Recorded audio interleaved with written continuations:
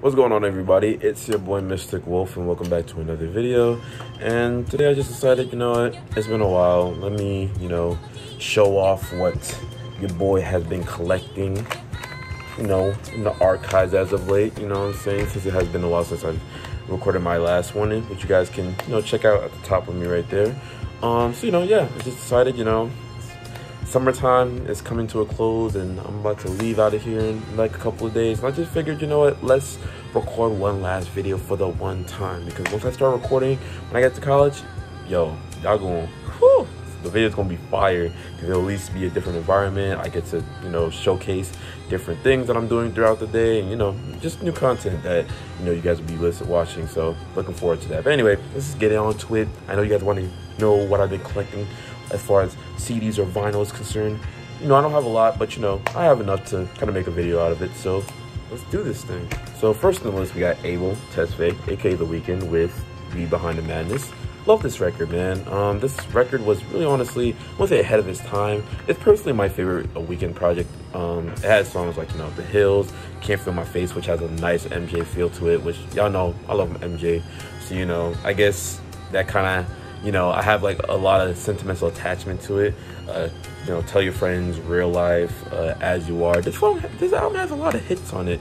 Um, even freaking uh, Shameless, you know, that little guitar, uh, that little um, acoustic ballad. Really, just good stuff on this record, man. Really, really good stuff. Abel knew what he was doing. He knew what he had to do. He got it done. Um, and yeah, it's just easily one of my favorite albums from him. Next we got is Kissland. Man, Kissland is the production on there is amazing. It's absolutely killer. Like, oh, like 2020 when I was like, you know, again to, you know, listen to Abel or whatever, I was going back to his back catalog and bruh, oh my God.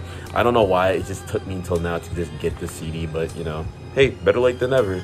But yeah, I love the production on here, especially on Kissland and like the first two tracks, especially like at, on Adaptation and, and Professional and just, uh, Live For Your Love. Oh, it's just, great songs, man, from the Weeknd, bro. Like honestly, this man got the voice. The production is very live and very like vivid. It's just literally just paints the picture for like when he was like in Japan or Tokyo or wherever he, he was at the time of recording. Uh, next thing is we got After Hours. This is the Target version, CD version. Um, I don't know, just figured just picking this up because it's one of my favorite albums of 2020. And you know, After Hours is just such a breath of fresh air, just going back to a 60s, 70s pop. Uh, type of aesthetic and i think this is the Weeknd's you know stronger projects. Uh, it was very critically acclaimed. You know he got to do the super bowl you know playing most of the songs from it and just other medleys from his other projects. And you know i just really am happy for what the Weeknd is going to provide next especially since the dawn is coming and he already released a song as as the time of this recording. So you know i'm happy for the Weeknd seeing what he's going to do next. But yeah great record really great record. Next we got is denzel curry with Zuu it's easily one of my favorite Denzel Curry projects. Uh, I don't like it nearly much as Taboo or Imperial since those are more concept, more focused drawings. But these songs, you know, don't get it twisted. You know, these songs are just as great, just as amazing, just as bangers as his last project. These are just more so bangers. These are more so catchy songs to just kind of put on repeat, you know, for the summertime or whatever.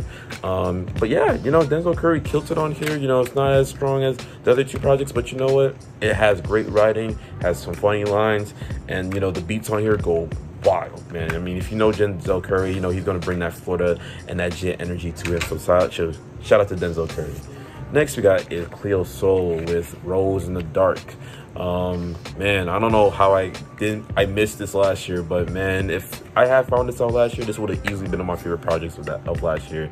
But yeah, man, she's fantastic. If you guys ever listen to like Solange or like, I don't know, Lianne La Havas or Erykah Badu, you know they talk about self-discovery, they talk about self-love, self-care, reflections, optimism, just trying to find yourself, you know, kind of just like being in a time of your life where you're kind of stressed out and kind of like reflecting on all the things that you could have done better and now you're kind of moving forward. It's a very sit back, laid, chill, very nice uh, neo soul album. So if you guys are looking for something like that, this album's probably the right one for you. So shout out to Cleo Sol Uh, next we got is Hiatus Kaiyote with Mood Valiant or Valiant. I'm not really sure.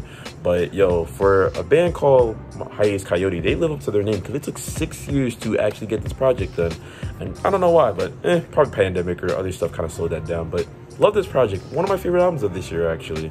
Uh, good songs such as like you know so, uh, Stone Lavender, uh, Red Room, even like uh, We Go Gentle. Like these are songs that are just nice alternative jazz, a little bit of funk as well too, cuts.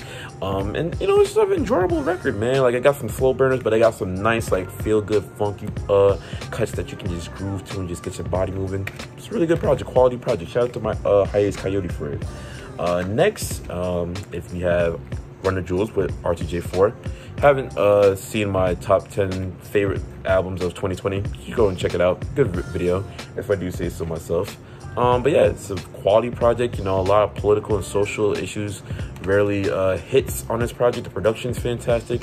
Uh, features like from Forget, from Pharrell, uh, like Just, and just you know a lot of good songs off of this project that are just bangers. And honestly, this is an album that was for that time period, man, when Black Lives Matter thing was going on. It's really a powerful project.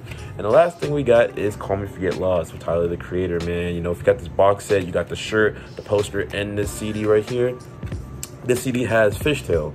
Um, which actually replaces uh, Safari, the last track off of this project, which I have actually grown to like. You know, um, I kind of prefer Safari a little bit, but Fishtail is growing on me, and I kind of like uh, Fishtail because you know it's kind of like picking back up like with um, Massa where like Tyler's kind of being a little bit introspective, kind of going back to like, yo, this is what got me here, and now I'm here. Music got me this far, and you know, everyone kind of made fun of me, and now look at me, I'm I'm glowing, I'm, I'm thriving, and I'm striving, and I'm reaching my, my, my best version of myself, as you should, Tyler, as you should.